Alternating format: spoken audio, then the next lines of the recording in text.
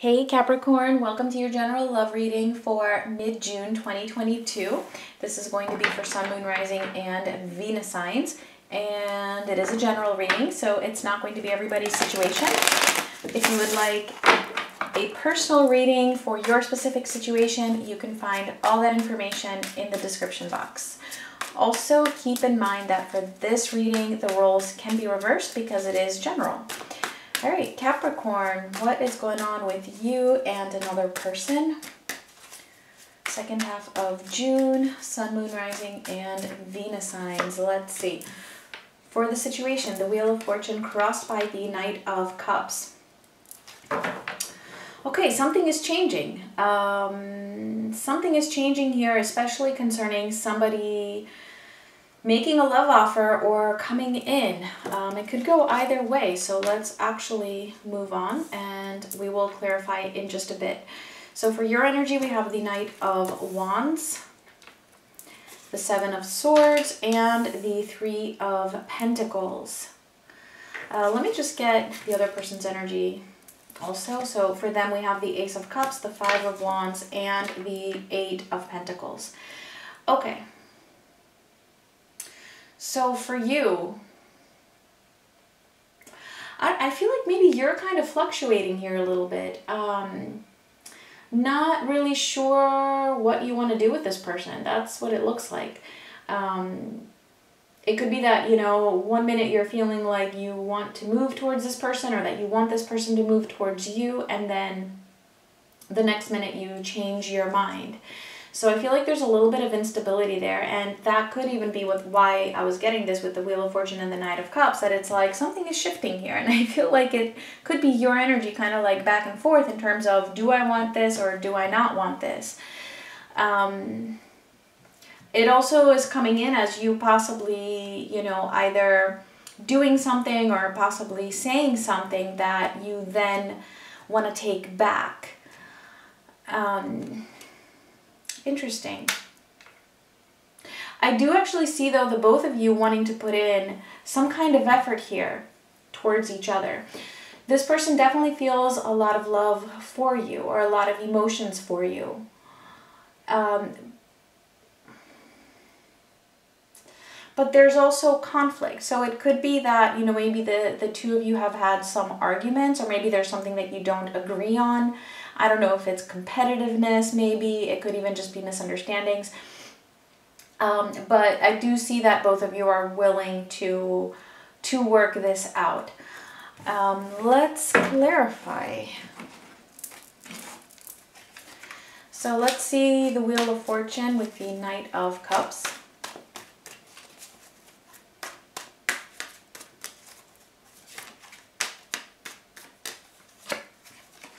And we have the Sun, the Queen of Swords, and the Five of Pentacles. Okay, so we do have Leo showing up. Maybe some of you are dealing with the Leo, or maybe you have Leo in your in your charts. Um, so here's the thing. It's like, you know, you you do want happiness. I feel like you both actually want happiness. Um, and it's kind of like with this this back and forth or this like shifting all the time of you know yeah you know we're working this out or no we're not working this out. Yes i do want them to come in. No i don't want them to come in. Or yes i do want to move towards them you know whoever that is or maybe the both of you. That does lead to you know you feeling um, lonely. Or you know just feeling more um, or actually feeling less united feeling less of a team with the other person This could even lead to feelings of rejection for one of you or maybe even for the both of you. Let's see the Knight of Wands for your energy. The Queen of Cups and the Hierophant. All right, so Taurus here in your energy. Mm, yeah, see, that's the thing. Like, you also have emotions for them. Um, you also feel this love that they feel for you. And I feel like you do want to move towards stability. You do want things to be stable. You do want this commitment. And I'm not sure though, like, if there's a part of you that, you know, there's, okay, feeling like following your heart or listening to your heart and what your intuition is telling you, and then maybe there's another part of you that is, you know, maybe a little bit rigid in terms of wanting to follow a certain, like, certain rules or that things need to be done in a in a certain way. Um, and so I feel like that could be why there's a little bit of a, a back and forth here. Because it's like these are two contradicting energies, and I feel like, you know, you're you contain both of them, and sometimes you function from the one and then other times from the other, and the two of these clash. So in other words, you know, your beliefs or your system of, you know, doing things doesn't always match your feelings or what ends up um, or what would end up bringing you love and happiness. So following those rules might actually be what doesn't bring you the feelings of love within this connection. So whatever that is to each of you. Let's see the Seven of Swords, the Empress, and the Ace of Cups. See, they have the Ace of Cups, and now you have the Ace of Cups. So yeah, there is love here. Um, it does feel like you go back on your feelings. It's like, you know, there's that... And I mean, I guess, you know, for some Capricorns, this could be um, a characteristic or something, you know, typical or a tendency maybe um, where, you know, you feel something in your heart, but you want to take the more practical, more um, solid and systematic approach. And I feel like, you know, when you do that, it's kind of like you're, you're walking away though from your own self almost, or like, deceiving your own self because your heart is really what is you, not these belief systems. Again, don't forget the roles can be reversed regardless of whether you're cross-watching. Let's see the Three of Pentacles, the Fool, and the Three of Wands. Oh, you know what I just realized? I forgot to pull the card for the potential outcome from the other deck. Let's see. All right, I didn't shuffle them, so it's this card. It's the Nine of Cups, okay, which is really, really positive. This is all about um, emotional fulfillment and a wish fulfillment. So, we'll see. Because it does look like, like I said, that the two of you are wanting to work this out. And there was another, um, I can't remember which zodiac sign it was, um, that had something similar here for for the ending or for the potential outcome for this time period. Um, it does feel like, you know, it might feel a little bit risky for you, like it's having to take a new kind of approach that you might not be used to. But I feel like, you know, you're realizing that, you know, sometimes, yeah, a new approach might actually work better whatever that is, whether it's with this person or, you know, whether it's away from this person. Um, either way, it is concerning this person. And it's like there's this new approach that you are being asked to take. And I feel like your intuition is pushing you in that direction. There's a little bit of, you know, not really knowing where it's going to lead you you know that feeling of it being unknown and waiting to see you know like what could happen or wanting almost like you you want to know what would happen with this new approach. You you want to know you want to be able to foresee what would happen. And that's like the whole point of this lesson is that no you know it's okay. You'll see what happens when it happens. That kind of a thing. Um, whatever it is you will be able to deal with it. So let's see for the other person. Let's see the ace of cups and we have the Ten of Cups and the Queen of Wands. Wow, this person is like so fond of you. I mean, there's genuine love here. There's this wanting, you know, wanting this happily ever after with you. Um, having a lot of passion for you and desiring you a lot. Uh, let's see the Five of Wands. What is this conflict about? The Ten of Pentacles and the King of Swords.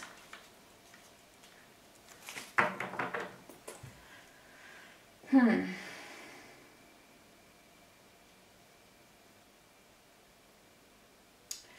So there might be some clashing between the two of you in terms of, again, um, things possibly being a little bit rigid in terms of the commitment or of, you know, what is commitment or what are the rules of the commitment.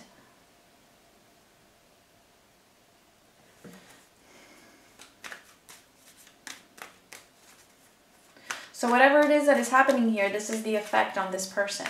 Um, like I said, they do have a lot of love for you, but I feel like there's, you know, been some conflict, some back and forth, and, um, I mean, and it could be that this person just has a completely different way of doing things, and I'm not saying that your way is wrong and their way is right. That's not what this is about. This is, just, and I'm not saying that when I say follow your heart, that necessarily that that's the path that they're following. But for you, just in terms of you and your own self, the message is to allow more softness or to allow your heart to actually, you know, have a bigger say in things. Now, something in their energy, right, clashes just with with the way that you were functioning, uh, the way that you were doing things, and vice versa, right? And vice versa. But this is just what I'm seeing as the effect on them. So maybe, you know, they're very rigid in their ways too. So let's see that Eight of Pentacles. Because what's important here is the fact that you're both willing to, you know, compromise or, you know, figure this out. All right, and we have the Lovers and the Two of Wands. So Gemini showing up here. Um, yeah. Plain and simple, this person has a lot of love for you and is willing to put in that that effort. I feel like you are too, but you might be a little bit more hesitant because it just feels you just want to know exactly what's going on, what this is leading to. You want to be more systematic about it. And like I said, you know, sometimes that's just um, that's just not possible. Um, but it's interesting to me that you both have, you know, that you have this three of wands, they have the two of wands, which is also similar. It's like they don't really know where this is going to lead either. So they're they're a little bit reserved about how the two of you will work this out, and I feel like, you know, there is no there is no rule here other than respect, obviously. Um, but it's like, yeah, you know, you're both willing you're both willing. So I feel like the message is, you know, just start, start somewhere. Let's see the Nine of Cups for the potential outcome here. And oh, we have the Five of Cups, the High Priestess, and the King of Pentacles yeah, so again, intuition is showing up. Um, as well as this King of Pentacles, you know, representing, you know, um, the more systematic way um, or practical way of doing things. So it's really all about, you know, finding that balance between the two in order to have this Nine of Cups. Um, and I feel like this Five of Cups is here to say, you know, you can have this Nine of Cups, you know, regardless of what your situation is or you know whether you're with this person or you're not going to be with this person whatever that doesn't matter. You can have this nine of cups right? Allow your intuition to come through and you know don't don't allow yourself to just think about you know the worst possible case scenarios of what could happen if you do something a little bit differently whatever that is. Don't focus on the negatives basically be open. Because doing things differently can lead to this commitment to something being more stable because at the moment it's not um, and wish fulfillment.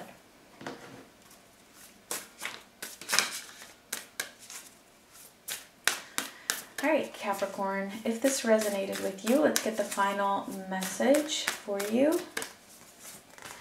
And we have new moon eclipse expect powerful change. Like, I can't even make this up. allow there to be a change. Just go with it.